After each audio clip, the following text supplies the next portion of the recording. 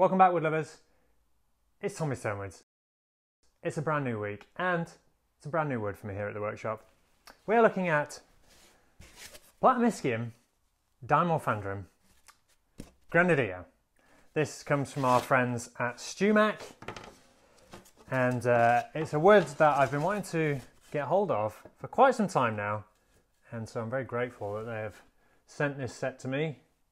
It's very cool. And I didn't realise, but uh, Granadillo is a is kind of a, an umbrella blanket term for many of the species within the Platymiscium genus, which is kind of uh, has its kind of growing regions in tropical America, from kind of Mexico through Central America into northern Southern America. I realised that I'd used this wood before, come across this wood before, but known it as Hormigo.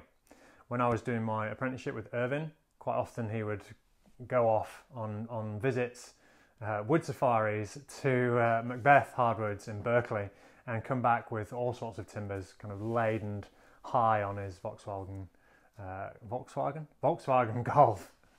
Um, and I remember this one particular time he came back with uh, a wood that he was very excited about um, for its rosewood-like qualities, and that was something we we we knew to be or was, was referred to as Hormigo. But I think I seem to remember at the time we didn't know what genus it was from. We just knew it as Hormigo.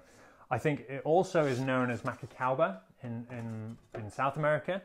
Granadillo is also can also sometimes be known as Mexican uh, rosewood. Uh, I guess for its similarities to Cocobolo which is also referred to as Mexican rosewood.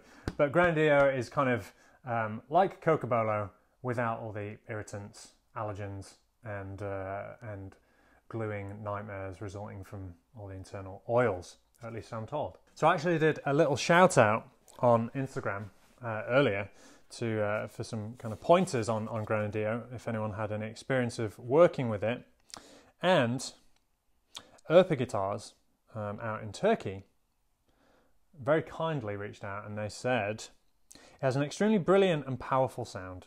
The bass and treble uh, are really nicely balanced and both can be colourful. Harmonics are stunning when the back and top are well paired. It can be quite hard to achieve the right thickness and not to achieve and not to get a metallic sound. Uh, it's one of our favourite back and sides for classical and flamenco, but for a warm and round sound, you need to select the right soundboard um, and thickness appropriately. It can be also used for a bridge uh, and uh, is very similar to African blackwood. It's also close to Brazilian rosewood, but maybe a little bit more crispy. So there you go. That comes from Urpa Guitars in Turkey. Thank you for that. So let's give it a little little tap, shall we? Now I've been getting some heat uh, below the line for how I hold the, the wood when I'm doing my tap testing. I don't really give a fuck. Uh, if it's good enough for uh, Dana Bourgeois and Ervin Somogyi, it's good enough for me. So let's give it a listen, shall we? Yeah. Very rosewoody. I would say it's reminds me more of African blackwood than Cocobolo.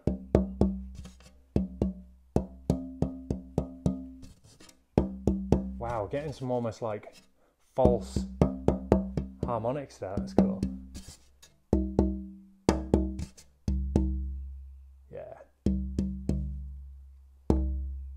Grenadier is, uh, you're starting to see it a lot more in factory built instruments. Martin and Gibson have started to use it quite a bit. And yeah, it's easy to see why.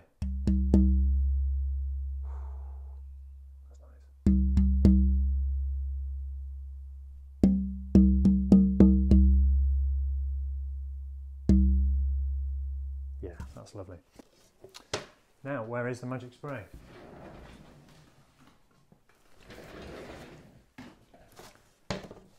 It's quite dense. You know what?